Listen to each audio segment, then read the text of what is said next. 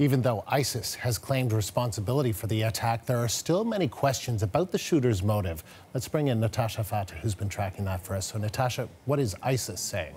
Andrew, earlier in the day, ISIS put out a statement through their Amaq news agency, their website, saying, in fact, that they were claiming responsibility for the attack that took place in Toronto on the Danforth on Sunday night. They describe Faisal Hussain as a soldier of the Islamic State and say that he had carried out this attack as a response to their calls to target citizens of the coalition countries. Well, of course, the Toronto Police, which is leading the investigation, has been made aware of these um, claims by ISIS, and we've heard from the Chief of Police, Mark Saunders. Let's bring up part of his statement that he issued, saying, At this stage, we have no evidence to support these claims.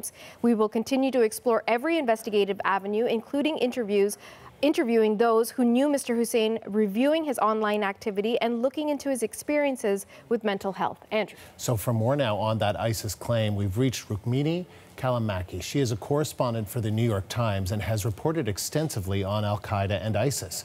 There were a couple of things, uh, Rukmini, that, that stood out for you in the phrasing of the claim. And part of it says, a soldier of the Islamic State and he responded to the call to target citizens of coalition countries. So, what is significant okay. about that phrasing? The phrasing that refers to responding to calls to target coalition countries, that refers to a famous speech that was put out in 2014 by ISIS's then spokesman, Abu Muhammad al Adnani, where they called on people who could not travel to the Islamic State, who were still back home in Western countries and elsewhere in the world, to carry out attacks in situ, in their communities in any way they could. It was in that speech that they spoke about using cars to run people over, even using rocks uh, to use them to smash the heads of, uh, of their enemies. So, what that phrasing indicates is that from ISIS's perspective, this is a man who was most likely self radicalized, who was was inspired by their propaganda and not somebody who actually traveled to, to Syria or who took more, um, more concrete direction from the group. Now, the claim wasn't immediate, right? It came uh, more than 48 hours after the attack. What should we make of that? That's not untypical. Uh, we have seen uh, we have seen claims that have come out in a couple of hours after the attack, um, and everything to uh, to a couple of days after the attack. So that is not that is not something that that concerns me. What do you make of what uh, the Toronto Police Chief said, saying at this point there's no evidence to suggest that um, ISIS is responsible for this, either through insp inspiration or, or whatever?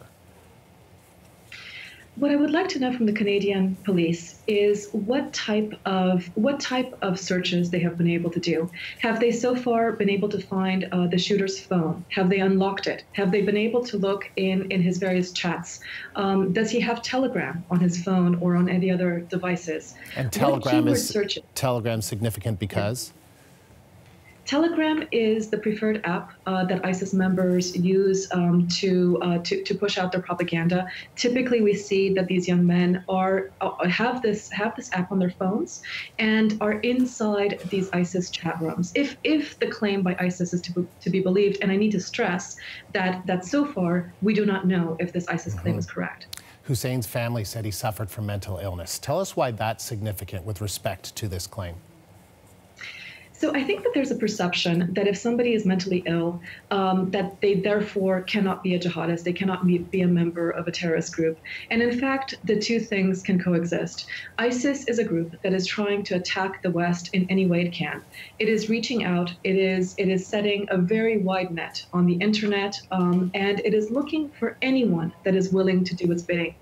As it so happens, people who are mentally ill are vulnerable uh, in ways that people who are not mentally ill are not.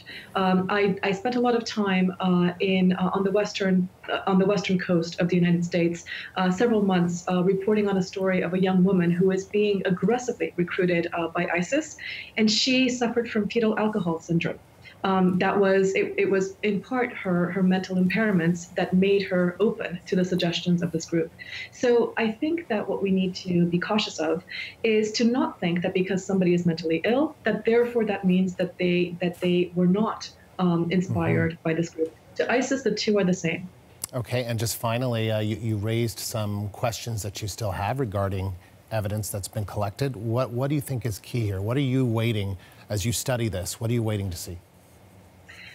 Well, a couple of things, Andrew. If if this claim had come out in 2016 or 2017, I would have told you. Um, I would have told you uh, that that in general, ISIS claims um, are more correct than they are not correct. We have mm. seen far more times that that they claim something, authorities come out and say, "Oh, we see no evidence," only for the evidence to emerge months later. Mm. In recent months, uh, ISIS has faced enormous setbacks, and they have faced enormous setbacks, um, especially not just territorially, but also in terms of their media operations. Numerous members of their media apparatus have been killed in airstrikes and so on. And uh, in and recently, we have seen incorrect claims. The most the most um, the most noticeable one was the claim that the Las Vegas attack, uh, which resulted in, in the deaths of dozens uh, in America, that that was ISIS. No evidence has emerged to suggest that that is true. Um, so, so we are dealing with a terrorist group that has been diminished.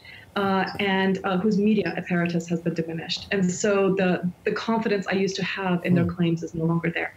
Um, once again, what I am looking for now is to see what the police reveal. Mm-hmm. And the key thing is his electronics. Rukmini, it was really interesting getting your insight. Thank you.